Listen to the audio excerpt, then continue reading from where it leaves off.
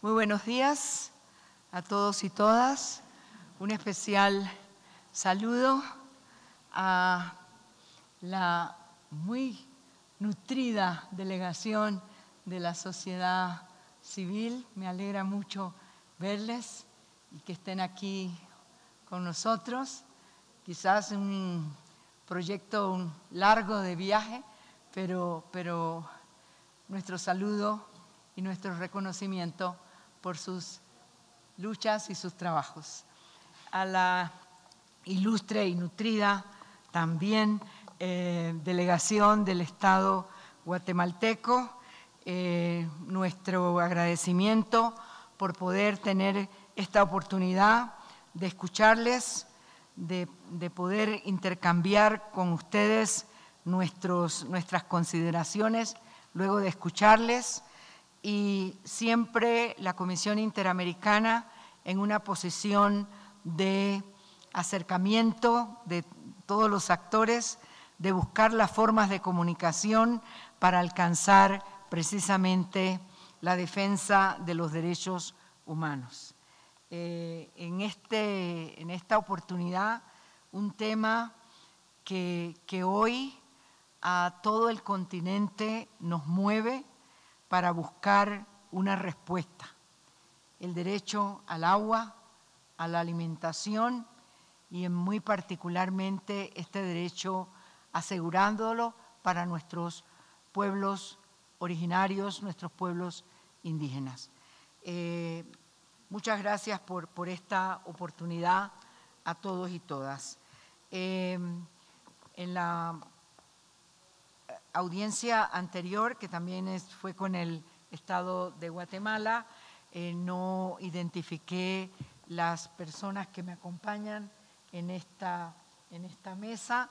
El comisionado Joel Hernández, primer vicepresidente de la comisión, eh, la comisionada Antonia Urrejola, segunda vicepresidenta, y la relatora especial para los derechos económicos, sociales y culturales, Soledad García, y nuestra secretaria adjunta en materia de todo lo que implica nuestro monitoreo, cooperación técnica para el impulso de la labor de la comisión, María Claudia Pulido.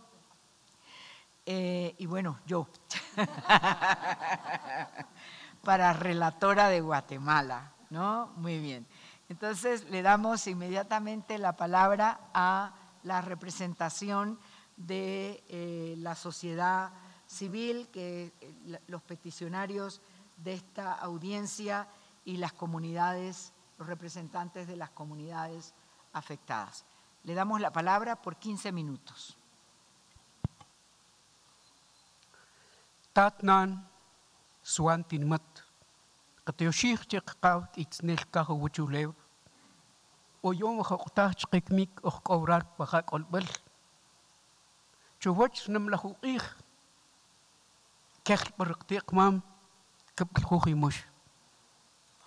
honorables miembros de la Comisión Interamericana de Derechos Humanos, público presente, tengan ustedes el mejor de los días. La delegación de Guatemala presente en este magno evento, las autoridades ancestrales de los pueblos originarios Oshlajujimosh, la cual vengo en representación,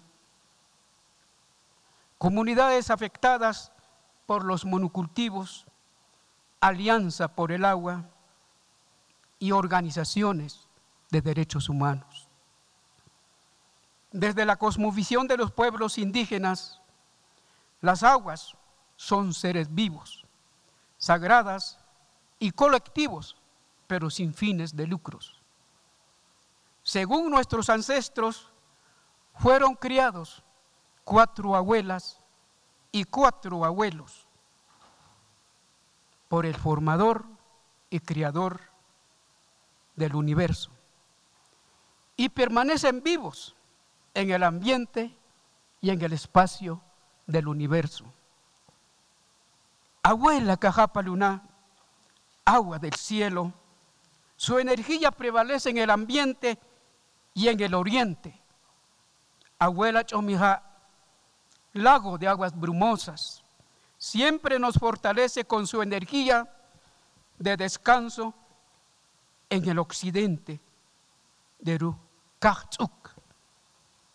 Abuela Chununja, agua de colibrí, siempre nos provee la multiplicación de vida sobre la madre tierra con su energía que prevalece en el sur.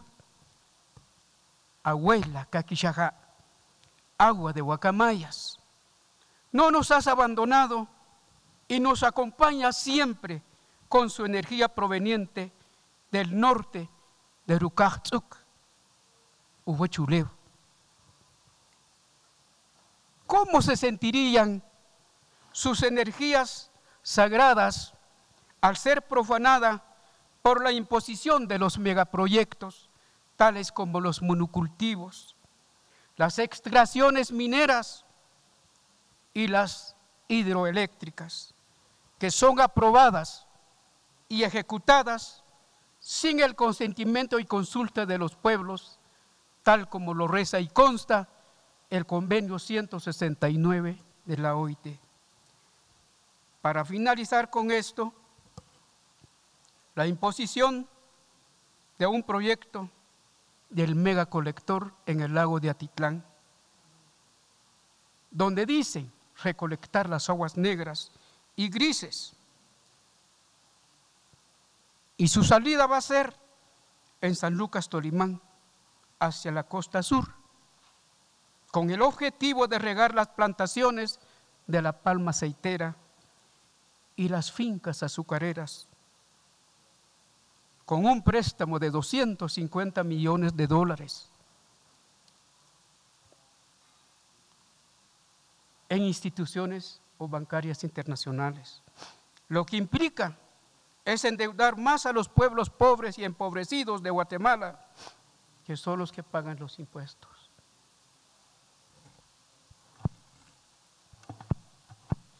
Vengo en, representaciones Vengo en representaciones de miles de mujeres indígenas de Guatemala por la expansión del monocultivo de palma aceitera en todas las regiones de Guatemala. Nos están destruyendo nuestras formas de vida comunitaria. En la contaminación de, los ríos, el Estado nos criminalizan a nosotros y no ponen a pensar que estos grandes empresarios son los más que están afectando nuestras fuentes de agua. Nosotras, las mujeres, somos las más afectadas de la contaminación de nuestros ríos. Los desvíos de río que hemos venido usando y cuidando durante cientos de años nos están provocando nuestra muerte.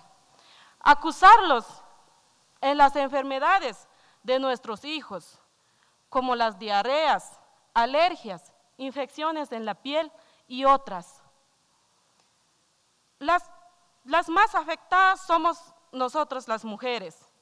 Y como el Estado no nos proporciona agua potable, la única opción que nos queda a nosotros es seguir usando estas fuentes de agua natural, pero contaminadas.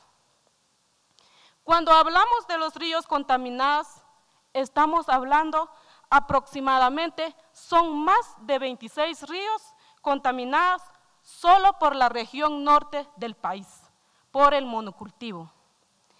Y el, y el clima ahora ha cambiado bastante. Durante este año sufrimos una sequía de nuestras generaciones que nunca había vivido. Cuando hablamos de la contaminación de los ríos, también estamos hablando de la contaminación del lago de Izabal y los nacimientos del agua. Uno de los ejemplos, el río La Pasión, río San Román, que se encuentra en la región norte, y en la región sur está el río Madre Vieja, y en el occidente, por, eh, por desaparecer, el río Cancelá y Tzelá los cuales siguen en la impunidad. Esta contaminación está siendo provocada por los grandes palmeras, mineras, níquel, petrolero, uleros, y sabemos, todos vivimos de agua, son, esta, agua es vida, tanto en los elementos naturales. Aunque hay denuncia, no hay ningún resultado. Es, es por eso que le pido favor a ustedes, respetables comisionados, como mujeres indígenas. Denunciamos ante ustedes en el año 2015 de las afectaciones de nuestros derechos por la contaminación del agua causando por los monocultivos sin que hasta hoy tengamos respuesta por parte del Estado. La concentración de la tierra en pocas manos, el cambio del uso de los suelos, la prioridad a la expansión de los monocultivos como caña de azúcar, palma aceitera, banano y otros, nos dan allí el uso excesivo de agrotóxicos prohibidos e incluso en países, en otros países como el glifosato, que aplicados vía aérea o vía terrestre dan como resultado el incremento de enfermedades renales crónicas y hepáticas que causan muertes. Estos agrotóxicos, a través de escorrentías, llegan a los cuerpos de agua, causando la extinción de las diferentes especies acuáticas que sirven y dan la alimentación a todos los pueblos que vivimos alrededor como medio de alimentación. En la pesca de subsistencia, arrastrados por el viento hacia nuestros cultivos, limitando cada vez más la producción de nuestros frutos y nuestros alimentos. La flora y la fauna están en peligro de extinción e incluso por la misma irrigación de desechos industriales. De estos atropellos hemos realizado varias denuncias, las cuales no han prosperado ante el Ministerio Público. La difamación, estigmatización y criminalización a los defensores y defensoras de los derechos humanos son circunstancias en las cuales tenemos que convivir cada día. Si las empresas nos denuncian, somos citados a la brevedad a los juzgados. Un claro ejemplo, el caso del compañero Bernardo Caal. Los casos de los compañeros en la región de la costa sur y la compañera Anabela, quien sufrió derrame cerebral al conocer de la citación ante un juzgado, la cual aún no se recupera. La liberación en el mercado para la comercialización de transgénicos atenta en contra de los conocimientos y saberes, prácticas y semillas ancestrales de los diferentes pueblos que convivimos en los diferentes territorios. Y de igual manera, no existe la intención mínima de facilitarle tierras a los pueblos originarios para la producción de alimentos. En conclusión, de lo anteriormente planteado, consideramos que se violan gravemente derechos reconocidos por la Convención Americana de Derechos Humanos y sus protocolos adjuntos, principalmente derechos económicos, sociales, culturales y ambientales de pueblos indígenas en Guatemala, asimismo como la libre determinación. Esto debido al acaparamiento indiscriminado de la tierra para monocultivos como palma aceitera, caña, banano, hule, que genera un detrimento del cultivo de alimentos y vulnera el derecho a la alimentación de las familias que carecen de tierra y de la población en general, acentuando la desnutrición crónica y aguda el desvío de ríos, la perforación de pozos industriales sin estudios de impacto ambiental adecuado, el uso del agua sin control, son prácticas empresariales destructivas y permanentes que han sido toleradas por el Estado y que impiden el acceso al agua a comunidades. Esto lo menciono porque de acuerdo al Observatorio Económico Sostenible se concluye que solamente para el cultivo de palma aceitera en Guatemala se utilizan 732.900 millones de litros de agua al día frente a los 30 litros de agua que una familia necesita para sobrevivir. Sumado a esto, en el reciente censo de Guatemala, septiembre de 2019, se estableció que 4 millones de personas no tienen acceso al agua de uso domiciliar situación que viola flagrantemente el derecho humano al agua y ocasiona una vulneración sistemática en las comunidades. La contaminación de los ríos por usos agrotóxicos y fumigación aérea afecta la dieta alimentaria y la economía local, la salud de las comunidades, principalmente de las mujeres. hay destrucción de sistemas naturales y e, de esto las comunidades hacen responsable al Estado por no poner límites a un modelo acaparador de despojo promovido por la agroindustria y el monocultivo, Incluso en el año 2019 se aprobó el Acuerdo Ministerial 204-2019, en donde categorizan a las plantaciones de monocultivo de más de 500 hectáreas con bajo impacto ambiental, restándoles obligaciones ambientales a estas empresas. Ante ello, la respuesta del Estado a la defensa de derechos de las comunidades ha sido la criminalización, la fuerza, la militarización, con la imposición de dos estados de sitio en 22 municipios y seis departamentos del país. Se observa también una cooptación de entes encargados en la administración de justicia, que por un lado criminalizan comunidades y por el otro lado desestiman y archivan denuncias de contaminación ambiental que se presentan en contra de empresas la institucionalidad y los programas asistenciales en materia de alimentación que existen en Guatemala están descontextualizados de la realidad cultural, social y alimentaria de las comunidades. Entregar bolsas de alimentos enlatados no cubre efectivamente con el cumplimiento del derecho a la alimentación. Todas estas violaciones las mencionamos porque creemos que son sistemáticas y permanentes en nuestro país, porque no existen acciones claras y coherentes en el marco de los derechos humanos y sin enfoque de género. Para esta temática, creemos también que Guatemala no cumple el estándar internacional del derecho humano al agua, que implica la existencia de agua saludable, limpia, accesible y asequible para todos y todas. Frente al, frente al agravio sistemático que vivimos los pueblos indígenas, ya expuesto en esta mesa, honorable comisión, presentamos las siguientes peticiones. Primero, solicitar a la Relatoría de Pueblos Indígenas de la CIDH, en coordinación con la Relatoría DESC, que emitan un informe sobre la situación de las comunidades indígenas en el acceso al agua y alimentación, derivado del impacto de la agroindustria. Segundo, se conmine al Estado de Guatemala a no interferir ni criminalizar la administración y usos tradicionales y comunitarios del agua que realizan las comunidades indígenas respetando la visión del agua como sujeto de derecho. Tercero, recomendar al Estado de Guatemala que se evite el uso indebido del derecho penal para perseguir a defensoras y defensores ambientales por el ejercicio de sus derechos. Cuarto, recomendar al Estado de Guatemala que garantice el efectivo acceso a la justicia ambiental y se responda a las denuncias presentadas por las comunidades con investigaciones eficientes, técnicas, científicas e imparciales.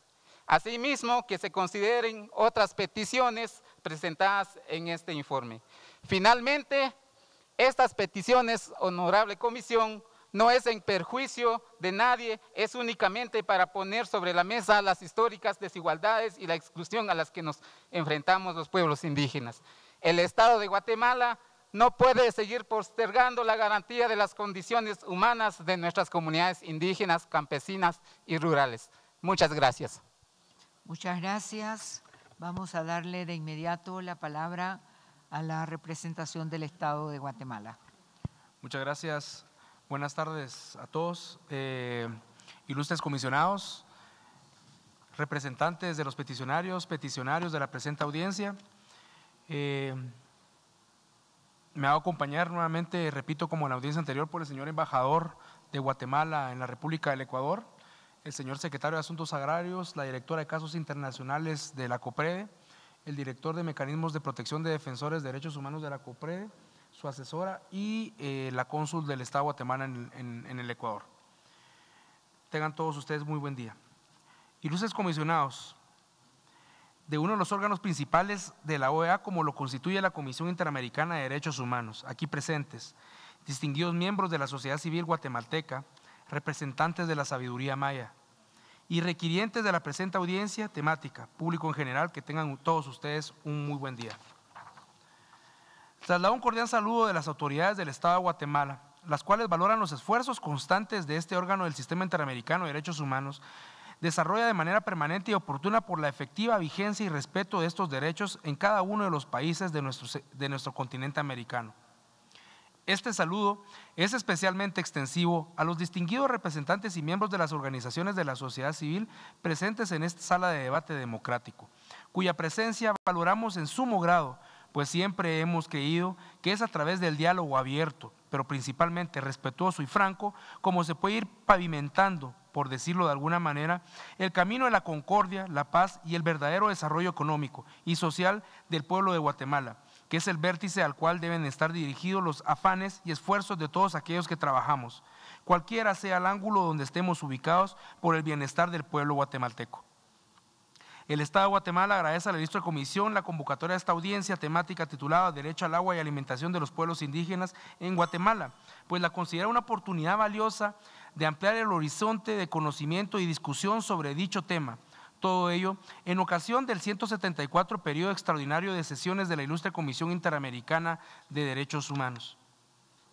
Estamos aquí para buscar un diálogo inclusivo, ratificamos nuestro compromiso de escuchar con respeto los planteamientos de quienes hoy están frente a nosotros, así como a dar seguimiento a las recomendaciones que tengan a bien exponer los ilustres comisionados, los cuales construyen la guía y orientación para alcanzar en Guatemala la plena vigencia y garantía de los derechos humanos de conformidad con los estándares en la materia. El Estado de Guatemala cuenta como una de sus bases con el diálogo como fuente de búsqueda de soluciones creando para el efecto en instancia que formas parte del organismo ejecutivo, como es la Comisión Presidencial de Diálogo, y actúa como ente facilitador y promotor del diálogo. Se encuentra conformada dicha comisión por el Ministerio de Finanzas Públicas, el Ministerio de Gobernación, el Secretario de Asuntos Agrarios, el Secretario de Coordinación Ejecutiva de la Presidencia, el Secretario de Planificación y Programación de la Presidencia y el Presidente de la COPRED en instancias en donde se atiende la conflictividad social que en el mayor parte se originan de un conflicto agrario en su mayor porcentaje u otro tipo de conflictividad. Por su parte, la Secretaría de Asuntos Agrarios de la Presidencia de la República de Guatemala cuenta en su estructura con la Subsecretaría de Resolución de Conflictos Agrarios y Rurales, donde se han atendido un promedio de 1.450 casos anuales, entre ellos, como los ya mencionados, de los derechos al agua.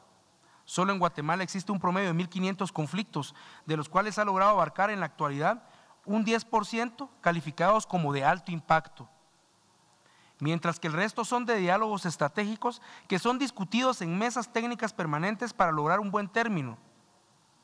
Dentro de estos incluso hay conflictos de hace más de 300 años que no necesariamente responden a diferencias con empresas privadas. Algunas sino que son resabios de las diferencias naturales entre grandes conglomerados ancestrales que tienen costumbres e idiomas diferentes, parte de nuestra multiculturalidad. El tema de conflictividad energética se posiciona en el primer puesto los diálogos estratégicos. Le siguen las áreas protegidas, tenencia de la tierra, agroindustria, cultivos de palma africana y banano, contaminación ambiental, uso de agua, manejo de residuos sólidos y el tema de minería a cielo abierto. Las localidades más afectadas por estas situaciones son 11 departamentos de la República. Alta Verapaz, Guatemala, Izabal, Petén, Huehuetenango, San Marcos, Suchitepeques, Retaluleu, Zacapa, Quesaltenango y Quiché. El caso más reciente ha sido resuelto, se remonta a finales del mes pasado y fue la reconexión de energía eléctrica que benefició a 45 mil habitantes de comunidades de Suchitepeques y Retaluleu en un conflicto con Energuate que llevaba más de cinco años. Es por ello que según se considere por las autoridades locales, el Estado de Guatemala, la vía del, diálogo y el consenso puede ser el mecanismo que dé paso a acuerdos que beneficien la plena vigencia de los derechos humanos en el tema que nos convoca esta tarde. La Constitución Política de la República de Guatemala en su artículo 125 declara de utilidad y necesidad públicas la explotación de los recursos naturales no renovables. Asimismo, en el título de Derechos Humanos Dicha constitución establece que todas las aguas de dominio son de dominio público y su así como su aprovechamiento, use, goce, se otorgan en la forma establecida por la ley. Es de importancia resaltar que hoy no existe una ley específica de aguas y como Estado lo reconocemos. Es un esfuerzo de años que se ha venido trabajando. Pero también en este foro reconocemos que es el momento de buscar la aplicación y aprobación de una ley con el consenso de todos, que sea inclusiva no solo para su uso, sino también para su protección. He traído a colación tal precepto constitucional principalmente en función del título de la presente audiencia temática. Lo anterior porque en múltiples ocasiones y diversidad de foros, el Estado de Guatemala ha resaltado a través de sus representantes los esfuerzos constantes que desde la instauración de la democracia en 1986 y principalmente a raíz de la firma de, de los acuerdos de paz firme y duradera en 1996 ha desarrollado para que cada día el respeto de los derechos humanos a partir de las actuaciones del Estado sea una constante, un constante diario vivir de la población guatemalteca y de aquellas personas no nacionales que conviven y trabajan en nuestro suelo patrio. Conviene señalar que el Estado guatemalteco no participa ni es parte de ninguna empresa extractiva, sino su actuar se circunscribe al otorgamiento, autorización y control para que puedan funcionar y desarrollar sus actividades en el país, desde luego con apego y respeto al marco normativo correspondiente.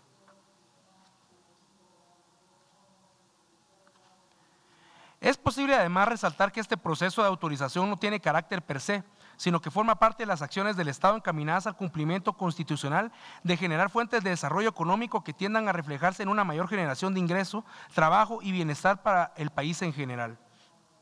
Ilustres comisionados, la tarea antes descrita no resulta sencilla para el Estado, pues como sucede en toda sociedad moderna y dinámica, tal es el caso actual de la sociedad guatemalteca. Prevalecen las libertades de expresión de poder agremiarse y organizarse de la misma manera que se considere más adecuada, para que las personas puedan luchar por sus ideales y por todo aquello que creen correcto, aunque pueda no necesariamente ser lo más justo ni lo más propicio, lo cual ha dado lugar al surgimiento de disimiles eh, enfoques sobre cómo lograr y garantizar el bienestar de la población guatemalteca.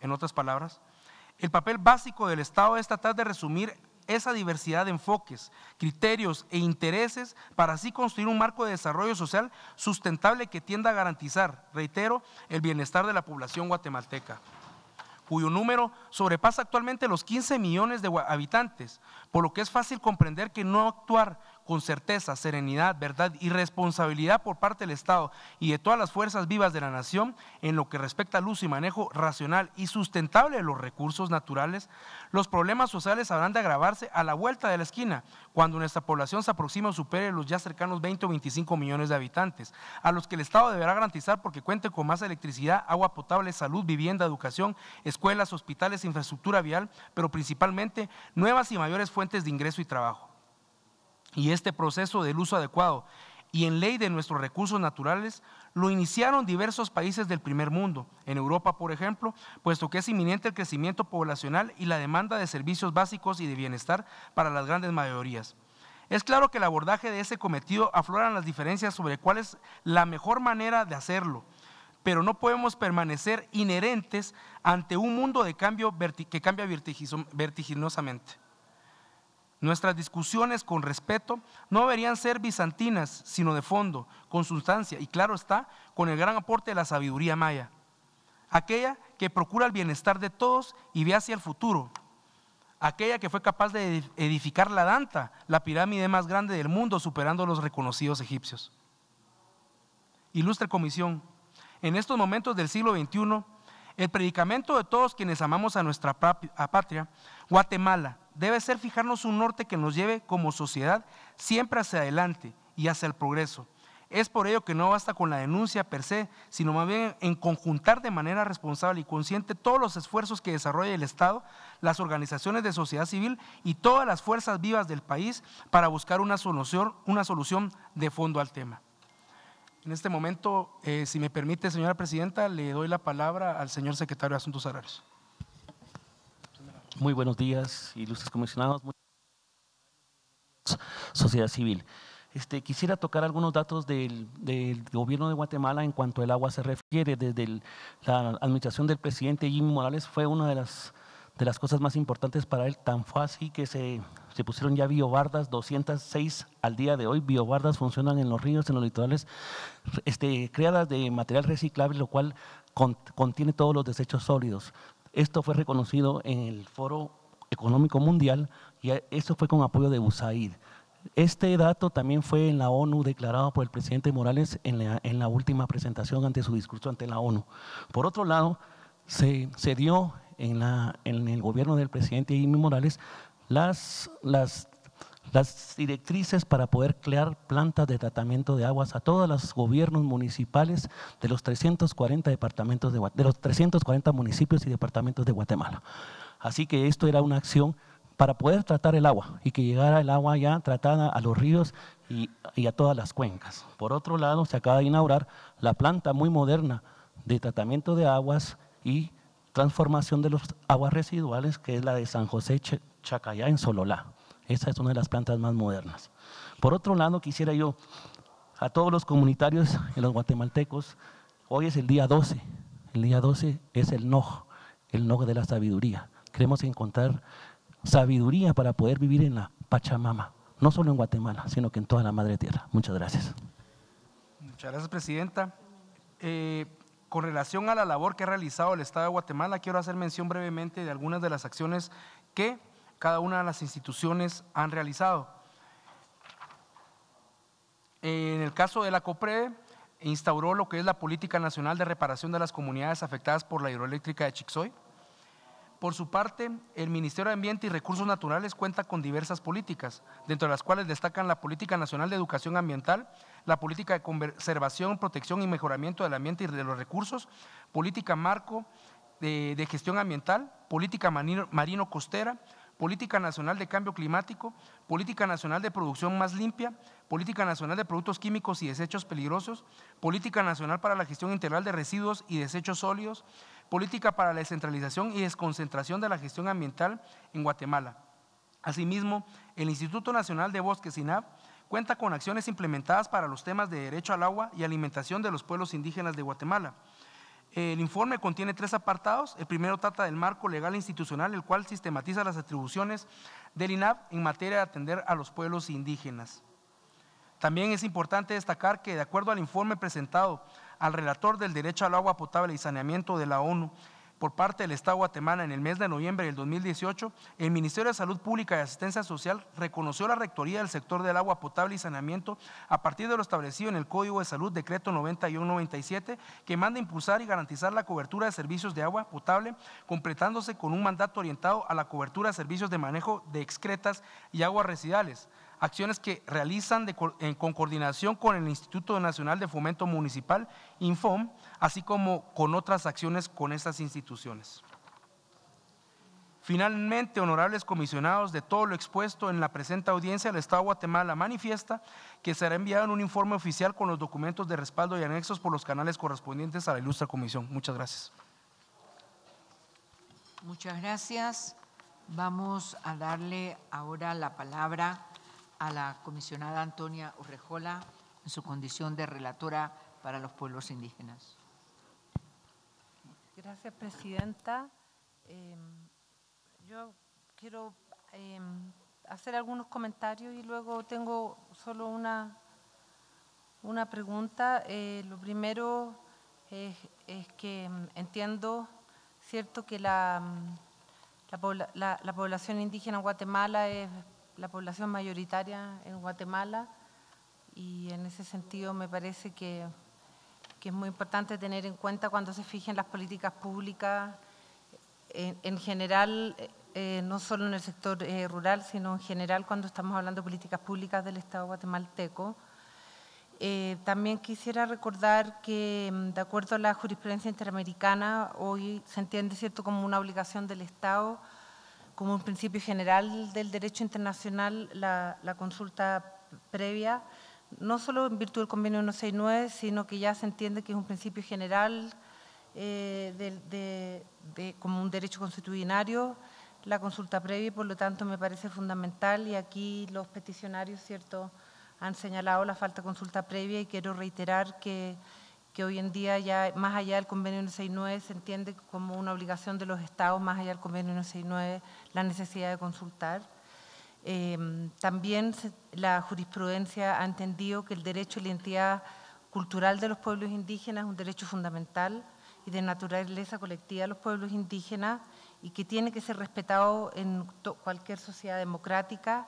Y eso implica y está íntimamente ligado al derecho a ser consultado y está íntimamente ligado a su derecho al acceso a la tierra y los recursos naturales y está íntimamente ligado a un derecho a la vida digna. Y entiendo, ¿cierto?, por lo que yo he escuchado por los representantes de la sociedad civil, que cuando estamos hablando del derecho al acceso al agua, también estamos hablando de un derecho a la vida digna y por lo tanto también estamos hablando al derecho cierto de los pueblos indígenas a mantener sus costumbres, su identidad cultural y un modo de vida que va más allá de tomar un vaso de agua que esté limpio.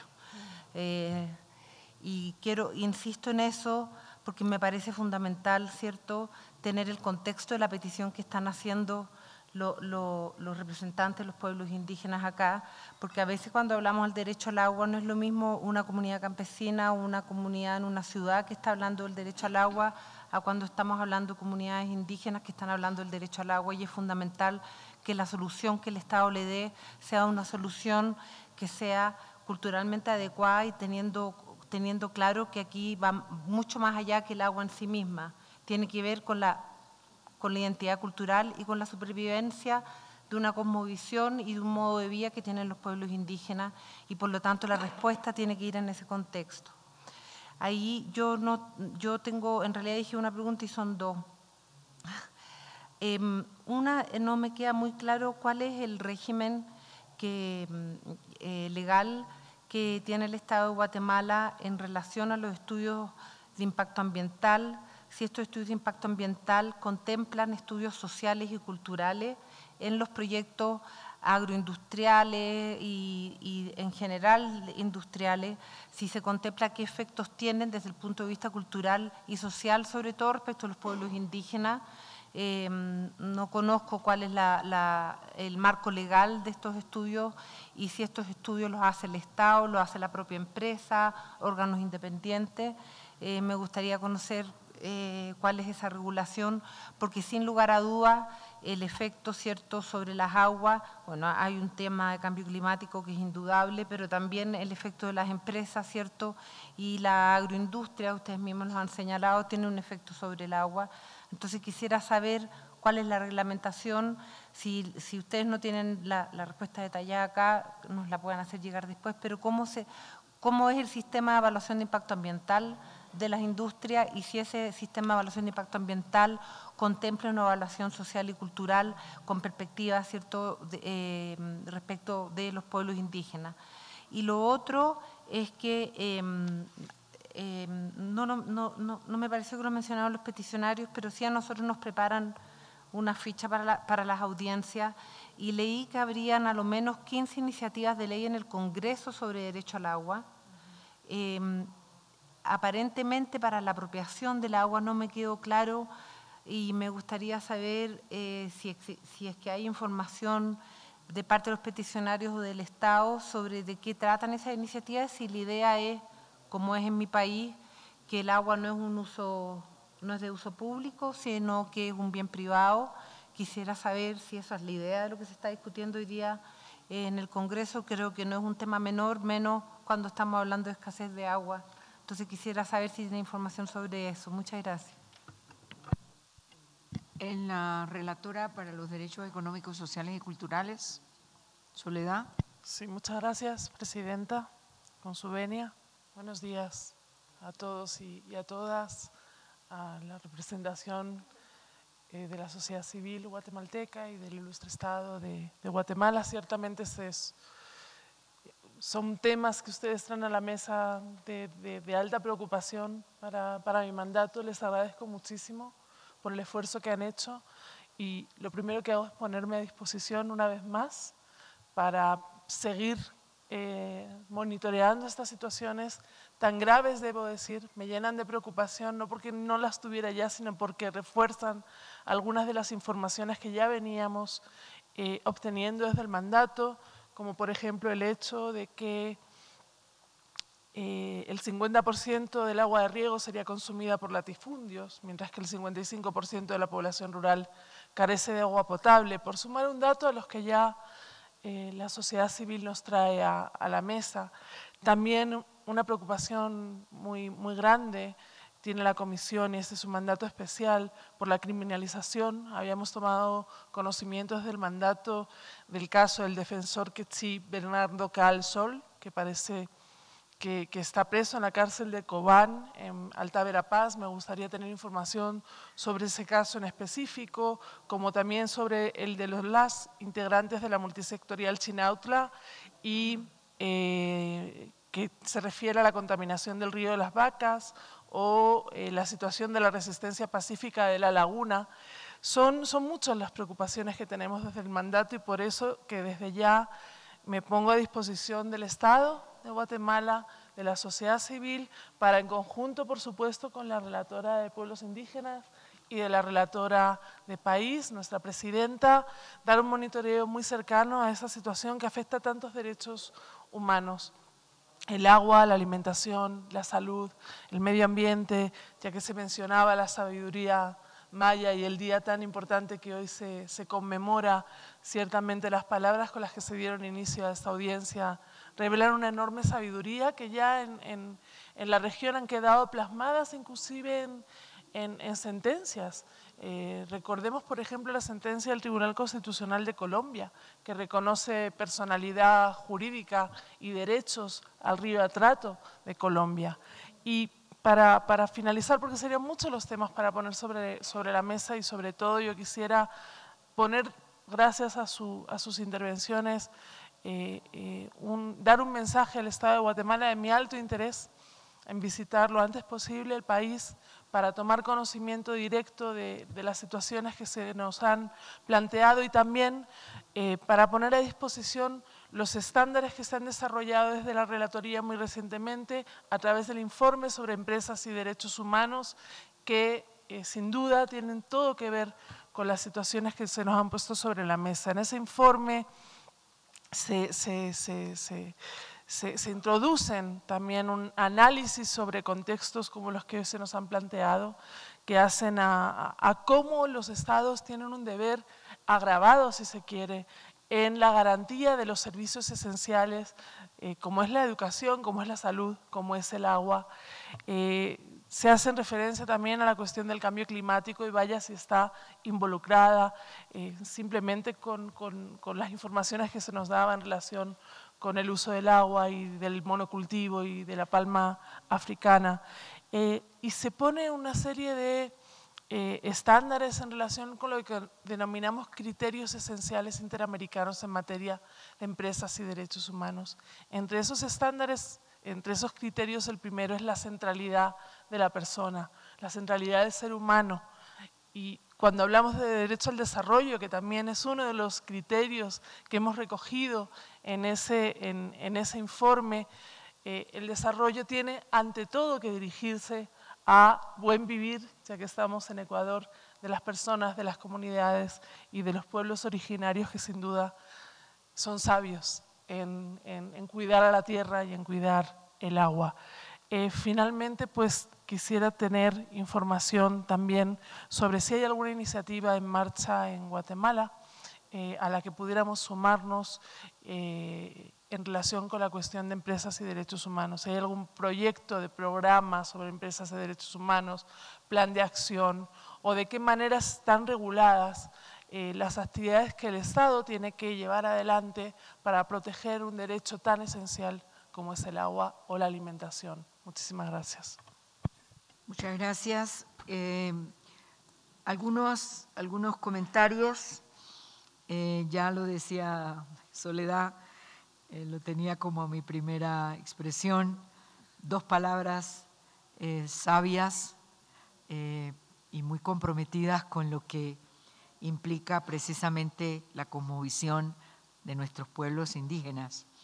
Hablar de esa, del agua como sujeto de derecho eh, por parte de las cuatro abuelas y abuelos, ¿no? Muy, muy simbólico.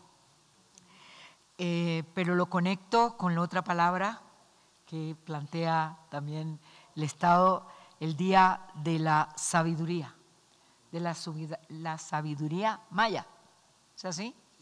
Entonces, ¿cómo estas dos cosas hoy nos colocan precisamente en la necesidad de tomar en cuenta esa sabiduría para la protección de la tierra, para la protección de nuestros recursos, para la protección del agua, para la protección de la Pachamama, que quienes no hay otro, otro, otros seres humanos que tengan tal conexión con la necesidad de esa protección que los pueblos indígenas. Y en esa línea yo quiero hacer un énfasis en que no podemos ni debemos considerar que hablar de desarrollo económico, social, implique desconocimiento de los derechos. Que, que ese desarrollo social precisamente, si bien se genera por un desarrollo económico, tiene que tener como centro esa, es el ser humano. Es el ser humano y si no llega ese desarrollo social, si el desarrollo le destruye esa cosmovisión, entonces no será desarrollo, será otra cosa, pero no desarrollo. Pero entonces, eso hay que tenerlo presente en el otro aspecto que quiero destacar, cuando los, los estados construyen, elaboran sus políticas públicas para atender precisamente todas las, las necesidades que eh, se, se exigen para el progreso y el desarrollo. Igualmente, si en la política pública no hemos colocado en el centro esa centralidad al ser humano, esa política pública será muy buenas declaraciones programáticas, posiciones que pueden ser ideales y aspiración si éstas no se traducen en la realidad, en la vida de la gente. Me quisiera, quiero concluir con la importancia que tiene para la Comisión destacar, hay un deber, hay una obligación de los estados de atender los derechos de su población. El derecho humano al agua como una, eh, yo digo que es como eh, el principio de los derechos, ¿verdad? Yo no sé cuántas, cuántos vasos de agua he necesitado tomarme en el día, en la noche, porque es como nuestra, nuestra vida, exacto. Entonces, es importante que el Estado tenga eh, en esta construcción de las políticas y las normativas y también de las, de las propuestas de ley de concesiones para, para, para la explotación, para los monocultivos, para todo lo que implique esa, eh, ese concepto de, progreso o desarrollo, que hay la, obligación de asegurar los derechos de eh, las personas.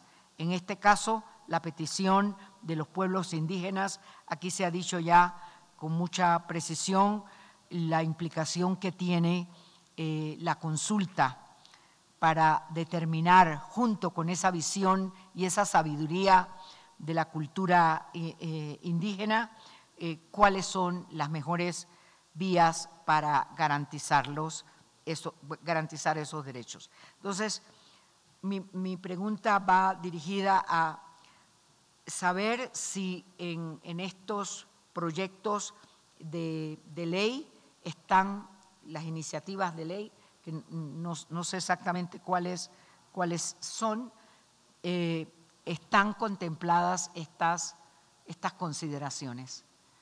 Y la obligación del Estado que frente a una concesión a las grandes empresas, a los, a los los que invierten en grandes proyectos, la- asegurar que esa inversión tiene también una responsabilidad de velar por los derechos humanos de eh, todas las personas que pueden estar o que están involucradas en el, en el proyecto de desarrollo del que se trata. Voy a darle cinco minutos para las consideraciones finales y poder entonces concluirla, la audiencia. Muchas gracias, honorable comisionada.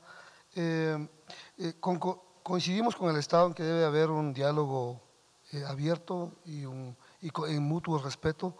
Sin embargo, también queremos que sea de buena fe. Conocemos el Sistema Nacional de Diálogo y sabemos que muchos de nuestras autoridades y líderes que han acudido a este sistema únicamente a veces sirve para identificar personas que después serán criminalizadas. Entonces, no vemos muchas veces este sistema como un sistema de respeto y de buena fe.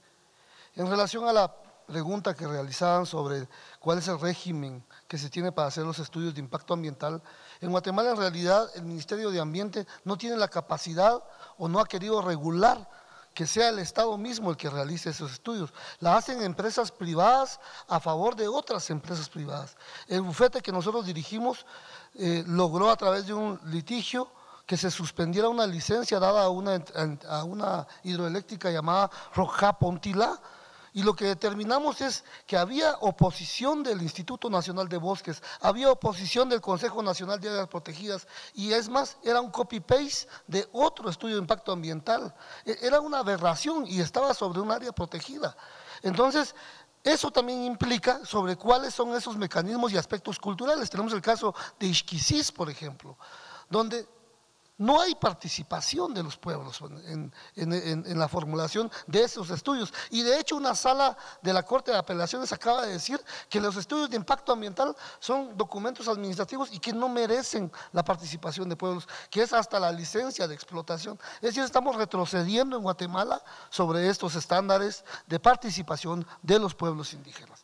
Y, solo quiero agregar una cosa más para darle la palabra a, a otro de los compañeros, es esta conflictividad puede evitarse si efectivamente la participación de los pueblos en una democracia participativa pueda estar presente. No es verdad que el sistema energético en Guatemala esté al servicio de las comunidades. Es un sistema energético que está explotando los recursos para su comercialización y exportación. Trexa, una empresa colombiana, se está imponiendo en Guatemala sin los estudios de impacto ambiental y hay miles de hectáreas de árboles que están siendo talados, miles y cientos de, de nacimientos de agua que están siendo afectadas por, la, por el sistema de comercialización. Ahí no entran los pueblos indígenas. Muchas gracias. Buenas tardes. eh, eh, el, último censo de Guatemala indica que somos 15 millones de guatemaltecos. Según Guateagua, dice que los 15 millones consumimos el 1% de agua, es decir, de la, de la cantidad de agua disponible. En proyecciones para el 2024 se- estaríamos consumiendo el 4%. Respecto a las iniciativas de ley de agua, sí efectivamente existe un, este, número eh, eh, mayor de 20 es, eh, a excepción de dos, la mayoría está dedicado a regular el, un, régimen, un régimen privado de aguas y este, también dedicados a reconocer supuestos derechos adquiridos. O sea, se han ido otorgando concesiones en ausencia de una ley. Y asimismo están vigentes varias normas de varias leyes eh, ordinarias que reconocen este régimen de aguas, de aguas privadas. Eso otorga privilegios para la, explotación del, del bien hídrico. Eh, los pueblos indígenas venimos promoviendo eh, 12 principios rectores, los cuales no deberían de faltar en una ley de aguas. Eh, a propósito, en el 2016 eh, se presentó la 5070, que contiene estos 12 principios, pero a tres años no presenta ningún avance en su trámite. ¿Cuáles son esos planteamientos que no deberían de faltar en una ley de agua desde la perspectiva de pueblos indígenas? Uno es el reconocimiento y respeto del derecho humano al agua potable y saneamiento ambiental con perspectiva de género. El reconocimiento y respeto al sistema de gestión comunitaria sin necesidad de registro. el establecimiento de un procedimiento judicial para el ejercicio y defensa de este derecho que debe ser breve, sin formalidades en el propio idioma, una representación legítima y con mayoría calificada en instancias de gobernanza del agua, la realización en forma obligatoria y con carácter vinculante, la consulta y la obtención del consentimiento en toda autorización de aprovechamiento de agua. Gracias. Eh, respecto al caso del compañero Bernardo Caal, él es un evidente caso de la corrupción ambiental, de la criminalización a los defensores indígenas ambientales. Eh, él ha sido víctima de un retardo malicioso de proceso judicial, del cual es necesario que la comisión también preste atención a este caso, puesto que el día de hoy cumple 15 mil horas en prisión únicamente por defender los derechos de pueblos indígenas quechí, del pueblo indígena quechí, quien estaba denunciando la, cooptación de las fuentes de agua comunitaria para la instalación de hidroeléctricas y del cual la Corte de Constitucionalidad ha resuelto que también se debe reconocer los derechos de pueblos indígenas, pero no suspendió las actividades de estas hidroeléctricas, vulnerando de esta forma el derecho eh, colectivo de pueblos indígenas. El Estado no puede tener una doble moral en la defensa de los derechos humanos un discurso vacío y del cual el compañero Bernardo Caal es un ejemplo paradigmático del abuso de la prisión preventiva, pues es un defensor ambiental y no como el Estado lo plantea, pues únicamente habla y, y, defiende a los, a los funcionarios públicos acusados de corrupción y no a los defensores ambientales ni indígenas. Muchas gracias. La palabra al Estado. Muchas gracias, señora presidenta. Le cederé el uso de la palabra al señor secretario de Asuntos. Buenas, buenas tardes. Con respecto, quisiera siempre llamar a lo que es la sabiduría. Quisiéramos que, este, que reconozcamos que necesitamos ponernos a trabajar en equipo ya que es un bien común como el aire, como el oxígeno, o sea, nos sirve tanto a ustedes como a nosotros, como a todos los habitantes del mundo. Así que estamos reconociendo que en, el, en este, en el gobierno del presidente Jim Morales, como bien dijo, ustedes fueron en el 2016 se planteó la ley de aguas o sea, fue en agosto y septiembre que se planteó esa ley hacia el organismo legislativo. Hagamos un, equipo y trabajemos por esa, por esa ley de aguas para que pasen, para que sea consciente de ese estudio, para que estemos todos involucrados, porque vamos a ser beneficiados mis nietos, sus nietos, nuestros bisnietos, los bisnietos de ustedes. Así que también eh, el presidente Imi Morales ha estado muy, muy, muy preocupado por ese tema que desde el 2016, como ustedes muy bien lo dijeron, su ministro de Ambiente presentó esa iniciativa de ley. Así que los, invito a que formemos un equipo para salvar el agua. Muchas gracias. Ahora le cederé la palabra, el uso de la palabra a la licenciada Lourdes Woolfolk, eh, directora de Casos Internacionales de la CUPRE. Bueno, muchas gracias. Me imagino que me queda un minuto, pero no quería dejar de expresar eh, el profundo sentimiento que me embarga como funcionaria del Estado desde hace más de 25 años en lo que respecta a derechos humanos. Verdaderamente en esta sala, eh, yo he estado en muchas, en muchas audiencias con los comisionados y comisionadas y se respira eh, un aire de paz, de solidaridad, de compromiso, de diálogo, de retos me llamó mucho la atención la presencia de la autoridad edil y me llamó más aún la atención el hecho de que estamos dialogando de una forma conciliadora. Tomaremos en cuenta las recomendaciones de los ilustres comisionados, los planteamientos de ustedes. Eh, nosotros no hablamos en realidad eh, situaciones concretas, las que ustedes han eh, evidenciado en algunas de las fotografías que nos han pasado.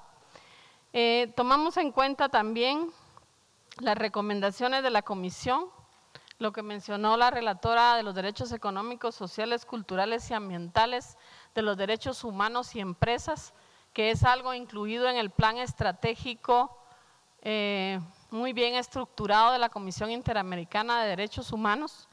Hemos tomado en cuenta todos estos aspectos y quería al final, o si ustedes nos trasladan la documentación a través de la comisión, porque así como nosotros nos quedó mucho material y mucho deseo de compartir, me imagino que a ustedes también. Em,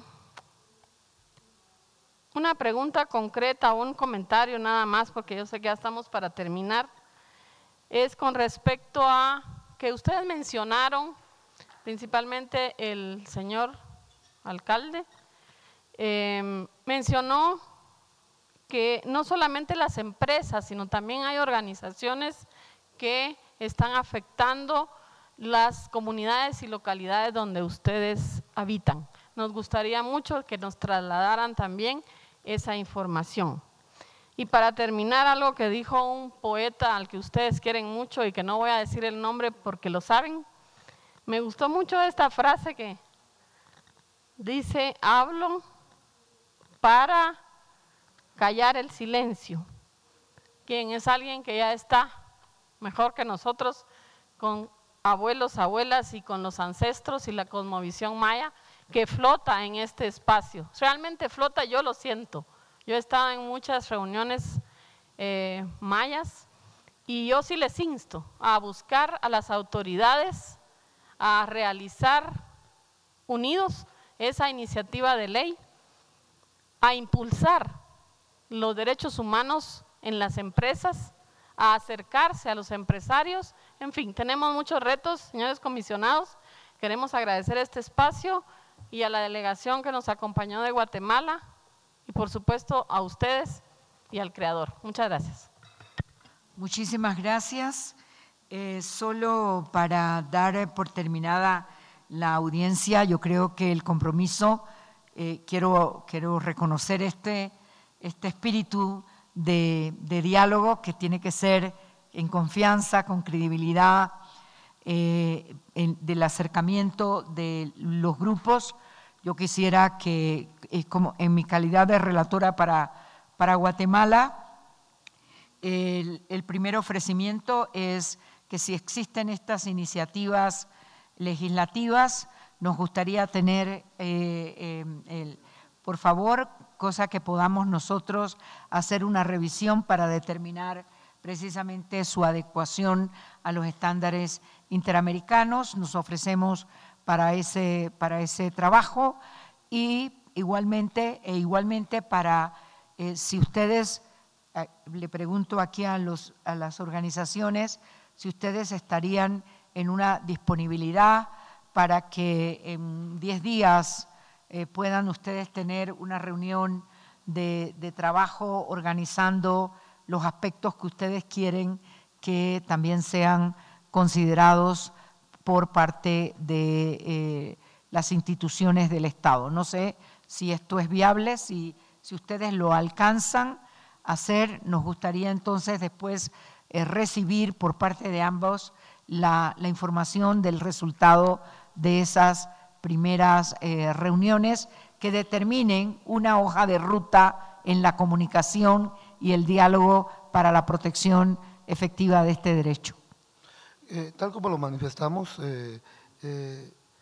Acá la delegación es, amplia porque vienen de distintas regiones del país, del norte, de occidente, del sur y del centro. Entonces, estamos abiertos al diálogo, pero tomamos la palabra a lo que dijo la relatora Soledad, de que hay acompañamiento de, la Comisión Interamericana, porque pues han habido múltiples pronunciamientos. Las, las 12 aspectos irrenunciables que manifestó eh, mi colega anterior ha sido discutido en el seno de las comunidades. Entonces, estamos abiertos a ese diálogo. Bien. Entonces, lo que hacemos es mantener una comunicación. Voy a comprometer aquí a la Relatoría de Derechos Económicos, Sociales y Culturales para que le dé el monitoreo correspondiente y el impulso que sea necesario. Agradeciendo a todos y todas y también siento este, este espíritu de paz y de solidaridad. Terminamos esta audiencia.